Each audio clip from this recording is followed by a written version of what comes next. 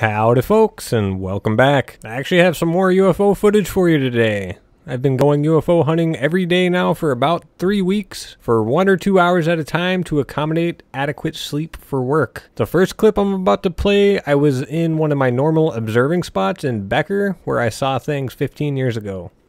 It was about 9:57 p.m. when a very bright light passed by Jupiter, and I honestly thought it was the International Space Station. As soon as I got back home, I checked Stellarium, and it shows a few satellites, but not near Jupiter, and they were going in the wrong direction. Plus, satellites aren't as bright as whatever this thing was. Now for the footage of the light. Keep in mind it's traveling away from me. There's no navigation lights, and typically planes don't have that bright of lights pointing backwards. And you can actually see Jupiter's moons, proving that it is in fact Jupiter it flew next to.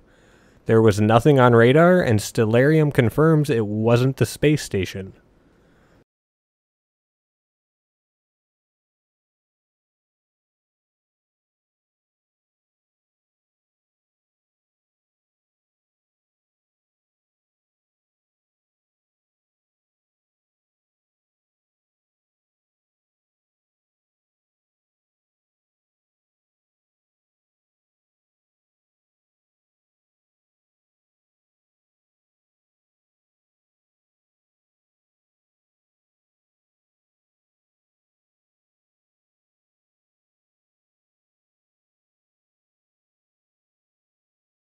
The second clip is also a little weird. I was on my way home driving through the town of Anoka on the highway. I've seen this light almost every night now. Again, nothing on radar and no navigation lights. Since it's a busy highway, I don't really want to pull over and watch it. I can only see it for a minute or two before a bunch of trees or buildings get in the way. I have previously tried to find a side road I could park and watch it, but I haven't been able to get a good view while stationary. Maybe next time I see it, I'll just pull over on the highway and risk being questioned by a cop. It'll be an interesting conversation to say the least.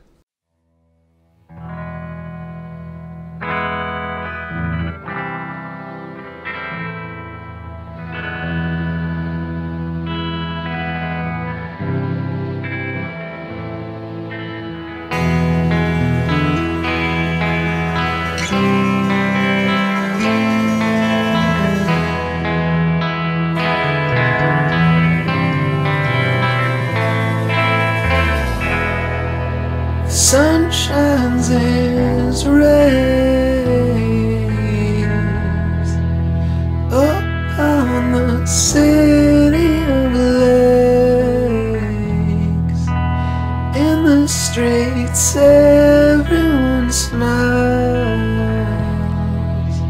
None of it is fake.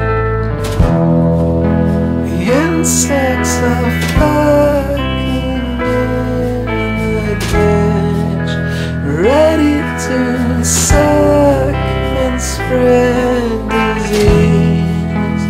I felt an itch the day I first saw